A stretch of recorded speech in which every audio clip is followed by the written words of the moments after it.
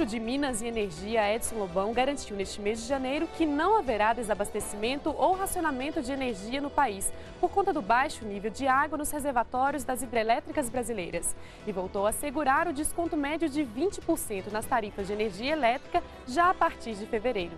A equipe da redação da NBR preparou uma reportagem sobre o fornecimento de energia elétrica no país. Veja!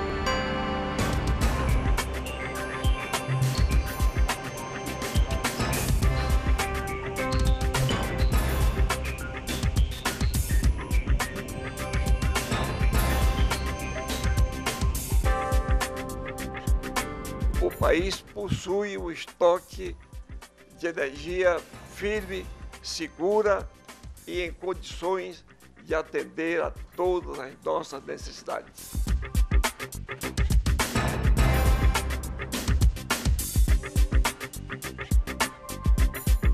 Questionou-se também, ao longo desses dias, a questão da redução na tarifa de energia elétrica de 20%. Esta redução acontecerá a partir do próximo mês, como está prevista. Não é de menos, é de 20%. A redução se dará.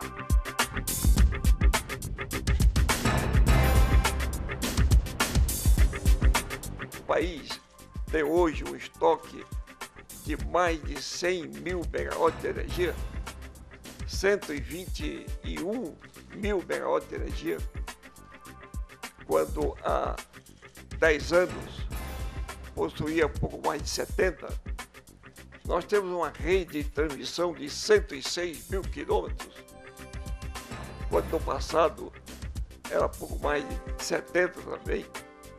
O país está interligado é, pelas redes do SIM, onde eventualmente houver uma carência de energia, ali será suprida por uma outra região. Isso tudo faz parte do conjunto de providências que ao longo desses anos todos foram tomadas. E tomadas exatamente para garantir a segurança energética do país.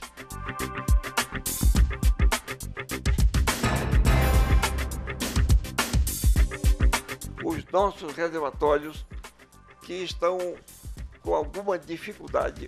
A tendência é melhorar daqui para frente e com o abastecimento completo destes relatórios.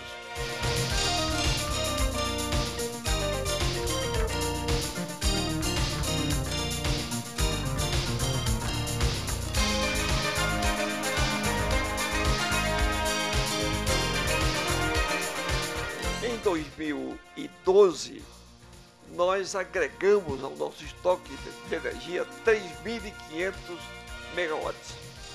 Para 2013, temos uma previsão de mais 8.500 ou até mais do que isso, até mais de 8.500 megawatts.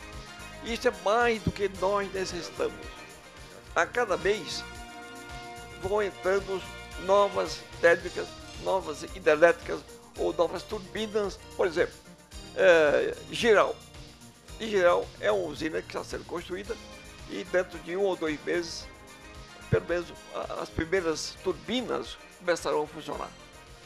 Assim é com Santo Antônio, assim com diversas outras usinas hidrelétricas.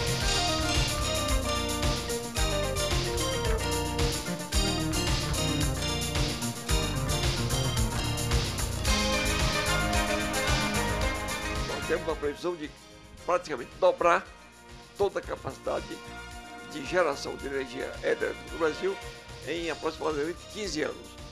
Esse planejamento, que é de curto prazo e longo prazo, está perfeitamente em ordem.